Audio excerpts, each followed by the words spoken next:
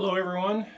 If you've been following my YouTube channel for a while, you've probably seen these motors running. I've been putting them together for the last couple of years. And I'm here to announce today that the book is finally out. It's finally published. So at the end of February 2016, the book has come out. So detailed plans, it's 200 and almost 250 pages with incredible detail, lots of pictures, uh, lots of information, how to put these things together. Everything is diagrammed, everything is drawn out. Basically have your blueprints and your shopping list all ready to go so you can make any of these low temperature differential Stirling engines.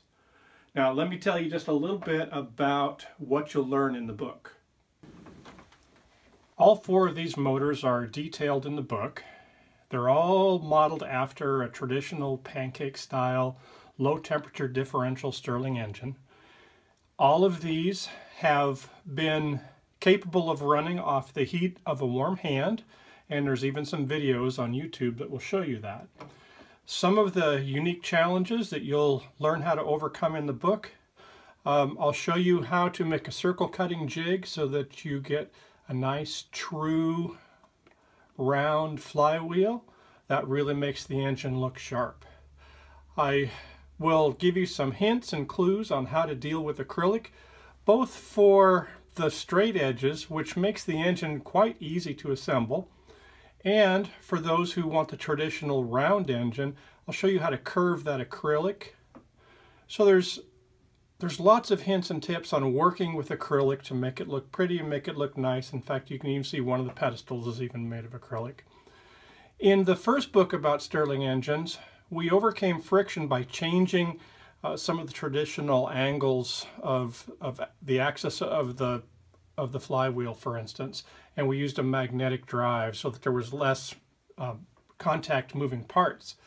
In this one, we've gone back to a traditional design and we've been able to overcome the friction problem by putting a Teflon bearing, uh, a real simple little Teflon bearing on the main axle and you can see them out here on each of the drive crankshafts.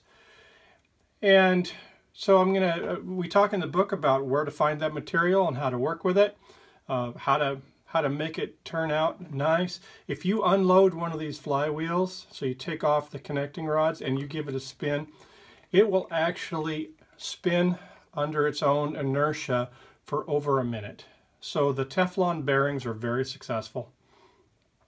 I also give you a, a, section in the book that tells you how to make the foam displacers.